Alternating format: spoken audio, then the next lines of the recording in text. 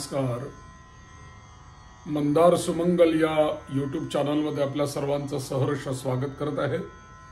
मी मंदार खळदकर गुरुजी. ज्या ज्या बंधू भगिनींनी हा माझा चॅनल सबस्क्राईब केलेला आहे त्यांना मनापासून धन्यवाद. असेच माझ्या या चॅनलला जोडलेले राहा. वेगवेगळी माहिती आपण त्याच्यावर चर्चा करत राहू आणि माहिती घेत राहू. असं आहे की काही काही नियम हे जीवनामध्ये साधकाच्या असले पाहिजेत. आपल्या सनातन वैदिक हिंदू धर्म संस्कृतीमध्ये अनेक प्रकारची पुराणं अनेक प्रकारचे स्मृती ग्रंथ आहेत. वेदापासून ही आपली परंपरा आहे आणि वेदापासून आपल्याकडे ज्ञानाची परंपरा सतत अखंड चालू आहे. माणसाचं जीवन हे उन्नत व्हावं त्याची उन्नती व्हावी आणि सर्वांगीण विकास व्हावा याकरता काही गोष्टी आपल्याकडे नियम म्हणून सांगितल्या गेलेल्या आहेत. आता विकास व्हावा उन्नती व्हावी म्हणजे केवळ बाह्यांगाने उन्नती व्हावी असं नव्हे तर अंतरंगी पण विकास व्हावा बहिरंगी पण बहिरंगीपणे विकास व्हावा आणि सर्व काही त्या माणसाचं जीवन हे पूर्णपणे उन्नत बनावं याकरता अनेक प्रकारचे नियम आपल्याकडे आपल्या स्मृती ग्रंथांनी सांगितलेले आहेत. कोणत्या काळामध्ये कसा आचार असावा काय नियम आपण पालन केले पाहिजेत म्हणजे आपण असलेल्या परिस्थितीमधनं सहजगत्या बाहेर पडून उन्नतीकडे आपली वाटचाल चालत राहील याच्याविषयी अनेक ग्रंथांनी विचार केलेले आहेत. आता नियम कोणतेही म्हटलं की ते पालन करणं अत्यंत कठीणच असतं. कोणालाही आपण नियम सांगायला गेलो की नको वाटतं लोकांना. आणि कुठलंही नियमामधलं जीवन हे जगणंच नको वाटतं. स्वैराकार जीवन पाहिजे अशी एक काही लोकांची प्रवृत्ती असते. पण काही मा मानवांचं मात्र असं म्हणणं असतं की नाही काही ना काहीतरी आपल्याला जर का साध्य करायचं आहे काही गोल आपल्याला मिळवायचं आहे तर आपल्या अंगी काही चांगले गुण हे असलेच पाहिजेत. पण मग हे नियम अतिशय कठीण असतील किंवा अशक्य असतील असं सुद्धा एखाद्या नियमांकडे पाहून आपल्याला वाटू शकतं की अरे काय सांगितलंय आपल्याकडे? एवढे कुठे नियम असतात का? एवढे कठीण नियम आपण कसे आचरण करणार? परंतु कोणतेही नियम जेव्हा धर्माकडून आपल्याला सांगितले जातात स्मृती ग्रंथांकडनं सांगितलेले जातात त्यावेळेला त्याच्यामागे नक्कीच काही सूक्ष्म असा विचार केलेला असतो. आणि तो सूक्ष्म विचार ते नियम आपण जेव्हा त्याच्याकडे नीट खोलवर पाहू लागतो तेव्हा आपल्या लक्षात येतं की या नियमांच्या मागे नक्की काय रहस्य आहे आणि कशाकरता हे नियम पाळायचे आहेत. एक साधा एक तुम्हाला श्लोक सांगतो की नियम कसे असतात. आणि माणसांनी ते जर का अंगीकारले त्याचं जर का पालन केलं तर माणसाची कशी उन्नती होत जाते हे या आपल्या केवळ दहा नियमांवरनं आपल्या लक्षात येईल. मग हे दहा नियम कोणते आहेत? एका श्लोकामध्येच आपल्याला एका स्मृती ग्रंथाने सांगितलेले आहेत. त्याच्यामध्ये स्मृतिकार असं म्हणतात धृती क्षमा दमोस्तेयम शौचम इंद्रिय निग्रह धीर विद्या सत्यम क्रोधो दशकम धर्मलक्षणम. दशकम धर्मलक्षणम म्हणजे हे दहा नियम मी तुम्हाला सांगतो, याला धर्मलक्षण असं तुम्ही समजा, असं हे स्मृतिकार म्हणतात म्हणजे कोणकोणते नियम त्यांनी या श्लोकामध्ये सांगितली? धृती क्षमा, दम, स्तेयम, अस्तेयम, शौचम, इंद्रिय निग्रह, धीर, विद्या, सत्यम, अक्रोधम, दशकम, धर्मलक्षणम। या सगळ्या श्लोकामध्ये पहिला जो त्यांनी शब्द वापरलेला आहे तो म्हणजे धृती. आता धृती या शब्दाचा अर्थ काय? तर या धृती म्हणजे काय? कोणता नियम आहे हा? तर आपल्या स्वतःच्या जवळ असलेल्या संपत्तीचा नाश झाल्यानंतर किंवा संपत्ती नष्ट झाल्यानंतरही ज्याची मनस्थिती ही शांत राहते धी धृती किंवा धीर धैर्य म्हणजे धी असा याचा अर्थ होतो. म्हणून कामात अडथळे आणि दुःख आल्यानंतरही मन समाधानी ठेवणं समाधानी राहणं आणि विचलित न होऊ देणं याला म्हणतात धृती. माणसाच्या जीवनामध्ये त्याच्या प्रारब्धाप्रमाणे चढाव उतार हे चालूच असतात. उन्नती अवनती चालूच असते. काही प्रसंग हे मनाला अत्यंत आनंद देणारे असतात. काही प्रसंग मनाला अत्यंत दुःख देणारे असतात. परंतु दुःखाची जरी परिस्थिती आली सुखाची परिस्थिती जरी आली तरी सुद्धा त्या दोन्ही परिस्थितीमध्ये ज्याची मनस्थिती ही समांतर राहते असा जो असतो तो साधक धृतीला धारण केलेला असतो. म्हणून जीवनामध्ये कोणतीही परिस्थिती येऊ दे. आपण स्वतः समाधानी राहणे आनंदी राहणे आणि महत्वाची गोष्ट आहे की विचलित हो न होणे. आणि विचलित न होणं म्हणजे काय? आपलं जे आचरण आहे आपलं जे धर्मपालन आहे किंवा या धर्मावरती श्रद्धा आहे देवांवरती श्रद्धा आहे भक्ती आहे याच्यापासून कधीही दूर न होणे. म्हणजे कधीही धर्म सो सोडू नये सोडू नये किंवा धर्म कधीही सोड सोडायचा नाही. आपला आचरण कधीही सोडायचं नाही याला धृती म्हटलेलं आहे. आता कसं आहे की बरेच वेळेला असं होतं की लोकांच्या जीवनामध्ये जर का काही संकट आली तर लोक काही उपासना करू लागतात काही जप करू लागतात काही देवाची भक्ती करू लागतात वगैरे वगैरे. का तर मला या संकटांपासून मुक्त करणारा हा भगवंत आहे. म्हणून ते त्याच्यावरती श्रद्धा ठेवून हे उपासना करतात. परंतु नंतर नंतर अचानक ती उपासना किंवा तो जप किंवा हे काही आहे ते सोडून देतात. का? तर त्याच्यामध्ये सातत्य टिकत नाही. तर मी एकांना विचारलं की का हो तुम्ही तो पूर्वी जप करत होता? तो आता का करत नाही? तर म्हणे काही नाही होते जप करून काही फायदा नाही. पूर्वी जप करत नव्हतो तेव्हाही तसंच होतं. जप करत होतो तरी तसंच जीवन होतं. आणि जप सोडला तरी जीवन तसंच आहे. याच्यात काहीच फरक झालेला नाहीये. म्हणजे मी जप करत होतो नव्हतो याला याचा फरक माझ्या जीवनामध्ये काही पडलेला नाहीये. त्यामुळे म्हणे मी तो जप करणं सोडून दिलं. म्हणजे असलेल्या विप परिस्थितीमध्ये आपण सम समांतर राहणं. कोणतीही जरी परिस्थिती आली तरी सुद्धा आपल्या मनावरती आपलं मन संयमित राहणं आणि धर्म आचरणापासनं भक्तीपासनं श्रद्धेपासनं दूर न होणं हा हीच तर खरी धृती आहे. आणि म्हणून हा धृती नावाचा गुण हा या श्लोकामध्ये पहिला सांगितला. याच्यानंतर दुसरा गुण जो सांगितला त्या दुसऱ्या गुणाचं नाम ना- नाव आहे धृती. आणि दुसरी गोष्ट सांगितली क्षमा असं सांगितलं. आता क्षमा करणं म्हणजे काय? आपल्याला एक गोष्ट सांगतो की क्षमा हा नावाचा हा जो गुण आहे ना तो अत्यंत मोठा आहे. पृथ्वी इतका मोठा क्षमा नावाचा गुण आहे. कारण या पृथ्वी मातेकडे महत्त्वाचा गुण सांगितला जातो. तो म्हणजे या पृथ्वी मातेकडे क्षमा नावाचा गुण आहे. आणि या क्षमेमुळे आपल्याला जग जिंकता येतं. इतकं अंतःकरण मोठं विशाल असल्याशिवाय दुसऱ्याला क्षमा करणे इतकं मोठं अंतःकरण असल्याशिवाय आपण दुसऱ्याला क्षमा करू शकत नाही.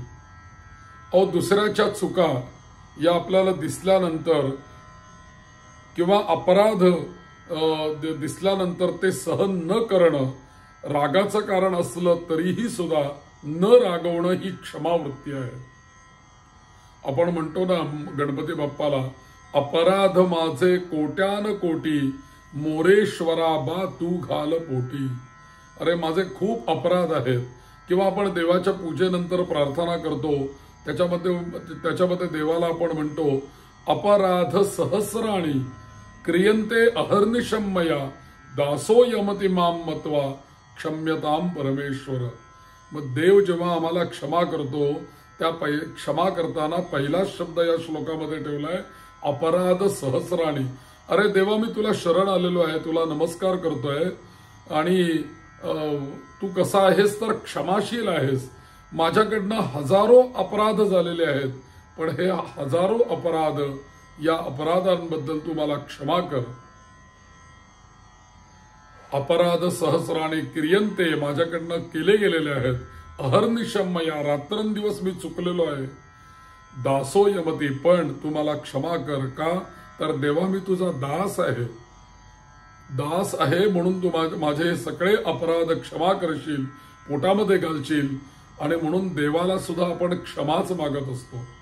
मला सांगा देवाकडे जर का क्षमा नावाचा गुण नसता गणपती बाप्पाकडे अपराध क्षमापन करण्याचं जर का सामर्थ्य नसतं तर आपण त्यांना का शरण गेलो असतो देवाला? मग देवाकडे एक मोठा गुण काय आपल्याला दिसून येतो की देव आपल्या अपराधांच्या करता क्षमा करतो? आणि म्हणूनच आपण त्याला शरण जातो. मग आपण जर का देवाचे भक्त असू तर आपल्याला इतरांच्या पेक्षा आपल्यापेक्षा वयाने लहान असलेल्या मोठ्या असलेल्या आजूबाजूच्या परिवारातल्या कोणाकडनं जर का काही चुका घडल्या काही अपराध घडले तर आपण सुद्धा या देवासारखं मोठं मन करून त्यांचे अपराध क्षमा नको का करायला?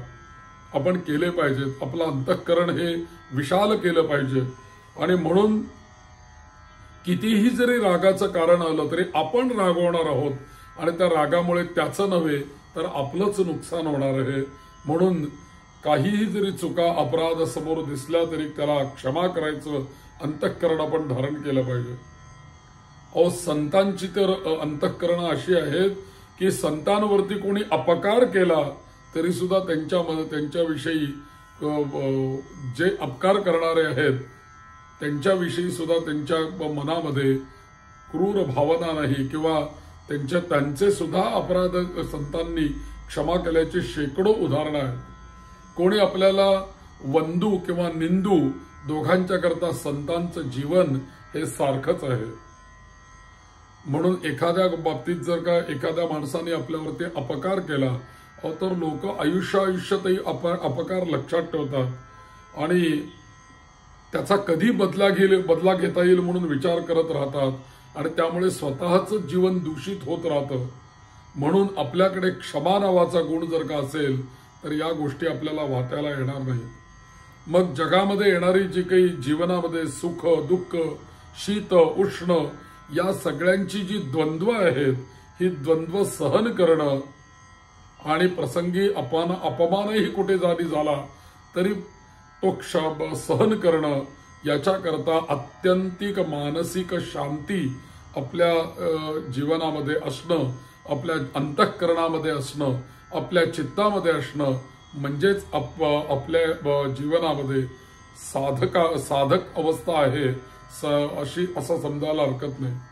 अशी साधक अवस्था संत अवस्था ही अशी असते.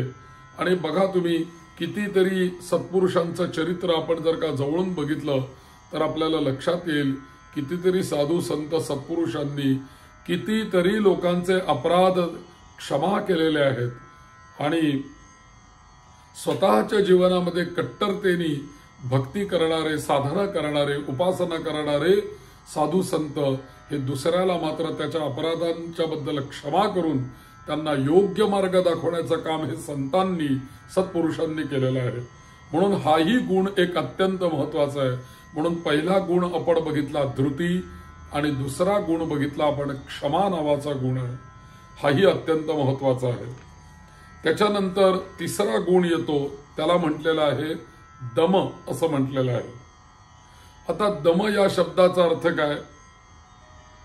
अगदी सरळ व्याख्या सांगायची जर का झाली तर आपल्या जीवनामध्ये उद्दामपणा न करणं उद्धटपणा न करणं आणि एखादी तपश्चर्या करताना साधना करताना आपल्याला जे काही शारीरिक कष्ट होतात मानसिक कष्ट होतात या हे सगळे जे काही आहेत शारीरिक आणि मानसिक कष्ट हे सुद्धा सहन करणं याच्याकरता दम नावाचा गुण अत्यंत आवश्यक आहे.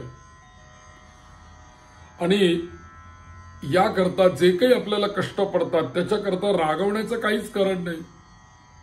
आणि रागवण्याचं कारण नाहीच आहे पण जरी रागवण्याचं कारण त्याच्यामध्ये असलं निर्माण झालं तरी सुद्धा मन शांत ठेवण्याचं प्रयत्न करणे आणि मनावरती संयम ठेवणे म्हणजेच दम नावाचा गुण आहे.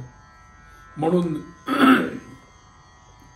आमच्या याच्यामध्ये जी काही लक्षणं सांगितलेली आहेत नमस्कार करताना तर त्याच्यामध्ये म्हटलंय व्रत नियम तप स्वाध्याय क्रतु दमदान विशिष्टानाम ब्राह्मणानाम मनहा समाधीयताम एवढे सगळे गुण ज्यांच्याकडे आहेत यांनाच आम्ही नमस्कार करतो. असं इथे म्हटलेलं आहे.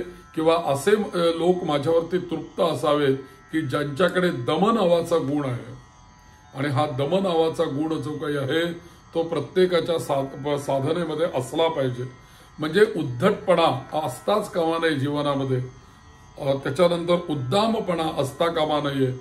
आपल्यापेक्षा मोठ्या माणसांचा कायम आदर के- केला पाहिजे ही आपली संस्कृती आहे. आणि साधना करताना जे काही कमी जास्ती क्लेश होतात त्याच्यावर चिडचिड करायची नाही.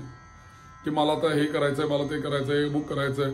त्याच्यावरती स्वतःची चिडचिड जी होत राहते त्याच्यावर सुद्धा दमन करणं हे महत्वाचं आहे. म्हणजे शांत राहणं.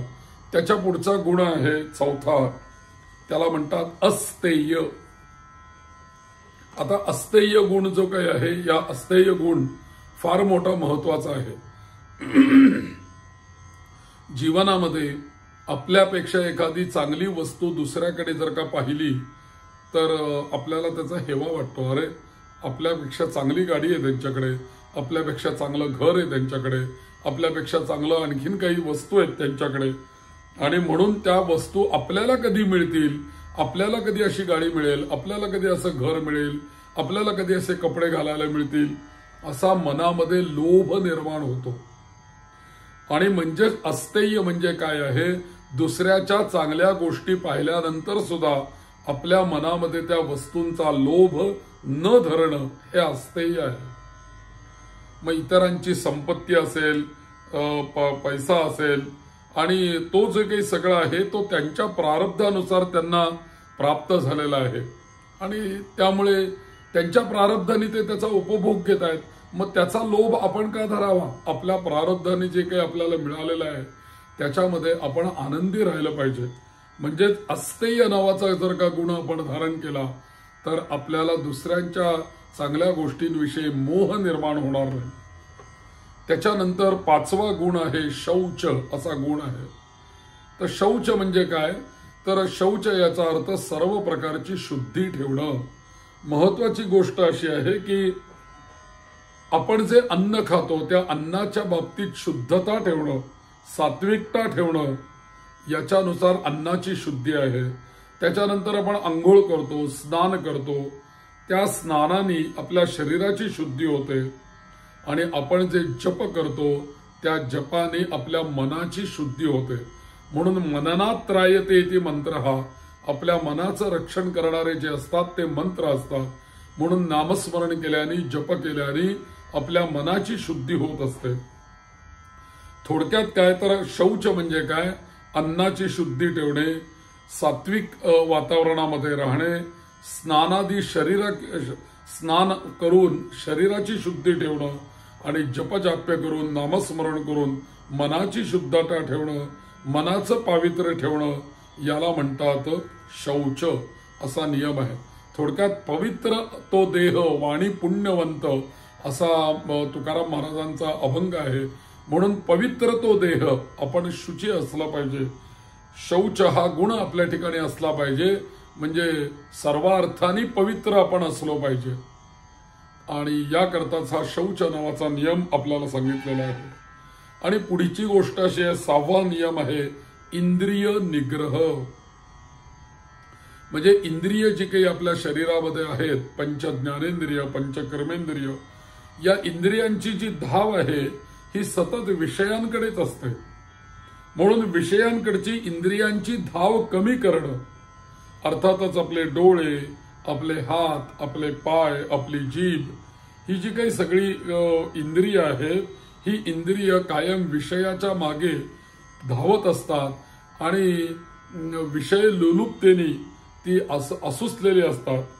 मग अशा वेळेला या इंद्रियांचं दमन करणं आणि यांना विषयांपासून दूर ठेवणं थोडक्यामध्ये म्हणायचं तर इंद्रिय इंद्रिय निग्रह म्हणजे जितेंद्रिय होण्याचा प्रयत्न करणं म्हणजे इंद्रिय निग्रह आहे.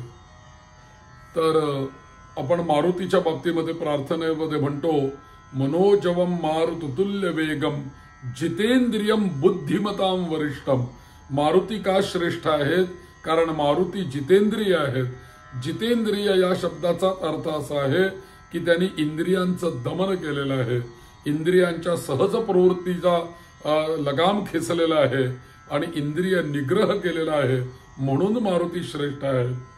आणि म्हणूनच या नियमाने आपल्याला इंद्रिय निग्रह शिकवलेला आहे. सातवा जी सातवी जी गोष्ट आहे त्याला म्हटलेलं आहे धी असं म्हटलेलं आहे. आता धी म्हणजे काय? तर एखादी गोष्ट अर्धवट समजून घ्यायची आणि त्याच्याप्रमाणे आपला व्यवहार सुरू करायचा कार्य सुरू करायचं. कोणतीही गोष्ट नीट पूर्णपणे समजवूनच घ्यायची नाही. पण धी या शब्दाने आपल्याला या श्लोकामध्ये असं सांगितलेलं आहे की अरे तू कोणतं जे काही तुला काही कार्य करायचं आहे ते कार्य नीट तू समजावून घेतलेलं असलं पाहिजे. कोणतीही गोष्ट तू नीट समजावून घे आणि बोलताना समोरच्याचा संशय दूर झाला पाहिजे.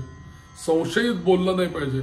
जे अर्धवट शिकलेली लोक असतात त्यांच्या बोलण्यामधनच त्यांना स्वतःला संशय असतो आणि ज्या ते- जे त्यांचं बोलणं ऐकत असतात त्यांच्याही मनामध्ये वेगवेगळे संशय निर्माण होतात. म्हणून आपल्या बोलण्यामधनं संशय दुसऱ्याचा दूर झाला पाहिजे. संशय निर्माण होता कामा नये. तर समोरच्याचा संशय दूर करणं त्याच्यानंतर आता अध्यात्मात प्रगती करायची आहे तर अध्यात्मशास्त्र सुद्धा नीट समजावून घ्यायला पाहिजे ना. आणि त्याच्याकरता काही वाचन काही अभ्यास काही पठण हे केलं पाहिजे. म्हणजे आपल्या बुद्धीचा वापर केला पाहिजे.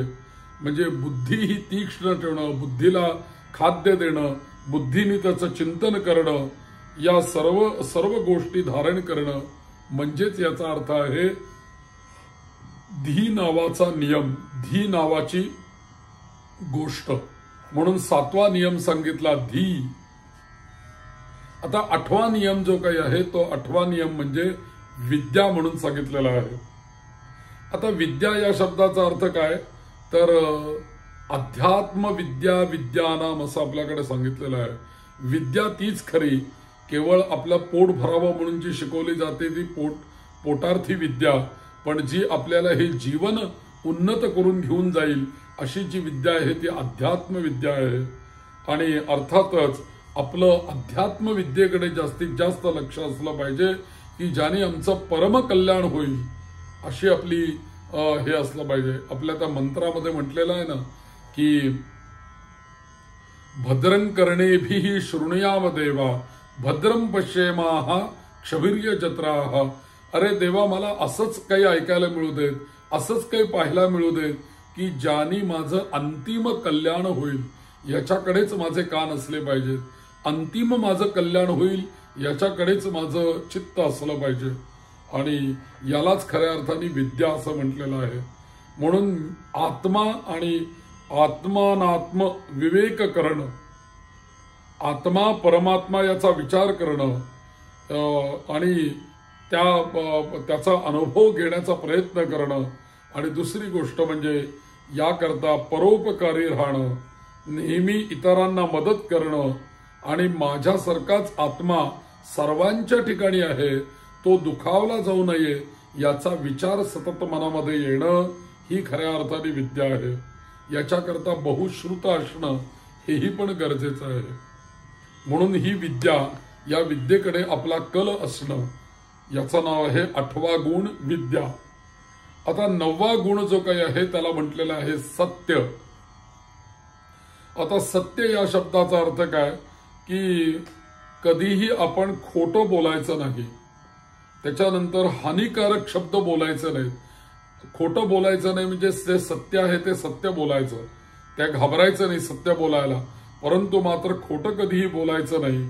आणि दुसरी गोष्ट म्हणजे आपल्या बोलण्यामुळे दुसरा कधीही दुखावला जाईल असं कधीही आपल्या श- तोंडातून शब्द बाहेर येता कामा नये. आणि दुसरी गोष्ट ज्याविषयी आपल्याला यथार्थ ज्ञान आहे ज्याचा आपण काही अभ्यास केलेला आहे काही चिंतन केलेलं आहे त्याविषयी मात्र सत्य बोलावं. आपली जी माहिती आहे त्या माहितीबद्दल खरं बोलावं. आणि नेहमी सत्याची कास धरावी हे व्यवहारामध्ये झालं परंतु या संपूर्ण जगतामध्ये ब्रह्मसत्यम जगन मिथ्या असं सांगितलेलं आहे. सत्य या जगामध्ये काय आहे? तर परमेश्वर हा सत्य आहे की जो हे जग निर्माण करण्यापूर्वीही होता आजही आहे आणि उद्याही असणार आहे. म्हणूनच आपण त्याला सत्य नारायण असं म्हणतो. सत्य ते आहे की ते सत्य आज आम्ही नारायण स्वरूपामध्ये त्याची पूजा करतो ते नारायण निर्माण होण्यापूर्वी पण होतं. आजही आहे उद्याही असणार आहे. म्हणून एकम सत विप्राहा बहुदा वदंती असं वेदानी पण आपल्याला सांगितलं. म्हणजे सत्य म्हणजे ईश्वर. त्याची कास आपल्या जीवनामध्ये सतत असली पाहिजे आणि व्यवहारामध्ये खरेपणा सचोटीपणा प्रामाणिकपणा हा असला पाहिजे. आणि दहावा गुणा गुण हा अत्यंत महत्त्वाचा आहे आणि तो म्हणजे अक्रोध. अक्रोधनेही शौचपरेही सततम ब्रह्मचारीभी असा श्लोक आलेला आहे. तर अक्रोध म्हणजे काय? की एखाद्याला तुम्ही क्षमा केली आणि एखाद्याला क्षमा केल्यानंतरही जर का कोणी त्या माणसाने जर का तुमचा अपमान केला तरी सुद्धा न रागवणं. दैववशात राग आलाच तरी तो थांबवण्याचा प्रयत्न करा. आणि राग येण्याचं कारण काहीही जरी असलं तरी रागवायचं नाही. आपल्या इच्छा पूर्ण होण्यामध्ये अडथळा आणणाऱ्यांच्या वरतीही चित्त निर्विकार ठेवणं याचं नाव अक्रोध असं आहे. एखादा जर का एखाद्याला क्षमा केली आणि पुन्हा त्याने आपला अपमान केला तरी न रागवता बाबा तिथून आपण काढता पाय घेऊन निघून जाणं. आणि एखाद्या गोष्टीमध्ये एखादा प्रसंग पाहून जरी आपलं मन रागवलं तरी सुद्धा दैववशात तो राग जरी आला तरी तो राग थांबवण्याचा प्रयत्न करणं. आमच्याकडे म्हणायचं पूर्वी की राग आला तर दहा आकडे मनामध्ये म्हणायचं किंवा राग आला तर राम राम राम म्हणायचं. कारण क्रोधाने आपल्या स्वतःच नुकसान होतं. क्रोधाने ज्याला क्रोध येतो त्याचंच आयुष्य कमी होतं. त्यामुळे अक्रोध हा गुण आपल्या जीवनामध्ये असला पाहिजे. एखादं राग येण्याचं कारण जरी घडलं तरी सुद्धा न रागवणं हे खरं ही खरी शांती आहे. आता वेदांत तत्वज्ञानाचे व्यास जे काही आहेत यांच्या मते मन शुद्ध करणाऱ्या क्रियेला कर्माला धर्म असं म्हणतात. आणि धर्म अनुष्ठानाने स्वैर आचारावरती ताबा येतो वासना मर्यादित होतात वेदांच्या वचनांवर श्रद्धा वाढते आणि कर्तव्य अकर्तव्याच्या विश्लेषणाने विवेक शक्ती वाढते. थोडक्यात या सगळ्या गोष्टींनी आपल्याला काय साध्य होतं? तर हे साध्य आपल्याला होतं म्हणून या दाही गुणांचा विचार आपल्याला प्रत्येक वेळेला क्षणोक्षणी केला पाहिजे. दहा गुण आपल्याला या स्मृती ग्रंथामध्ये सांगितले. ते म्हणजे धृती क्षमा दमोस्तेयम शौचम इंद्रिय निग्रह धीर विद्या सत्यम अक्रोधो दशकम धर्मलक्षणम. तर अशा काही गुणांचा जर का आपल्या जीवनामध्ये चिंतन करता आलं विचार करता आला तर ते आपल्याला फार उपयोगी पडणार आहे. कारण धर्म आचरण केलं काही नियम जर का आपण आचरण केले तर आपलं लक्ष देहाच्या पलीकडे असलेल्या आत्म्याकडे जातं ईश्वराकडे जातं. आणि धार्मिक नियमाने उपासना जर का एखादी केली तर आराध्य दैवी शक्तींचं ज्ञान आपल्याला प्राप्त होतं. कमी अधिक आपल्या जीवनामध्ये आपण धर्माचरण जर का केलं तर त्याच्या अनुसार आपल्याला पितृलोक देवलोक ब्रह्मलोक इत्यादीचा विचार करण्याकरता आपल्याला स्फूर्ती मिळते प्रेरणा मिळते. कर्मफलदाता ईश्वर आहे आणि याच्यावरती श्रद्धा विश्वास निर्माण होतो. आणि निष्काम भावनेने धर्माचं आचरण जर का केलं तर निस्वार्थीपणा आपला वाढत जातो. म्हणून अंतःकरण जागरूक ठेवून जाणीवपूर्वक निष्काम कर्म करणं हीच अंतःकरणाची श्रेष्ठ प्रकारची शुद्धी आहे. अंतःकरण शुद्ध झाल्यानंतर वैराग्य आणि सजगपणामुळे विवेकाचा उदय होतो आणि म्हणून हे दहा गुण या दहा गुणांचा आपण अंगीकार केला पाहिजे. म्हणून धृती क्षमा दमोस्तेयम शौचमिंद्रिय निग्रह धीर विद्या सत्यम क्रोधो दशकम धर्मलक्षणम याचा प्रत्येक साधकाने जीवनामध्ये विचार केला पाहिजे. एक सहजगत्या वाचनात आलेला श्लोक आणि त्याचा अर्थ मी उलगडून सांगण्याचा आपल्याला या व्हिडिओमध्ये प्रयत्न केलेला आहे. असेच माझ्या या यूट्यूब चॅनलला आपण जोडलेले राहा आणि आपण अशीच काही काही चांगल्या विषयांवरती चर्चा करत राहू. ज्यांनी माझा हा चॅनल सबस्क्राईब केलेला नसेल त्यांनी जरूर सबस्क्राईब करावा. एखादा व्हिडिओ आवडला तर इतरांना तो शेअर करावा. आणि आपल्याला काही शंका असतील व्हिडिओबद्दल काही बोलायचं असेल तर जरूर कॉमेंट लिहावी खाली. तर त्यांनी या व्हि- व्हिडिओला आपोआपच एक प्रकारची पुष्टी मिळते आणि त्याचा प्रचार प्रसार होतो. केलेली सेवा ईश्वराच्या चरणी आपण अर्पण करूया. मंगलमूर्ती Montréal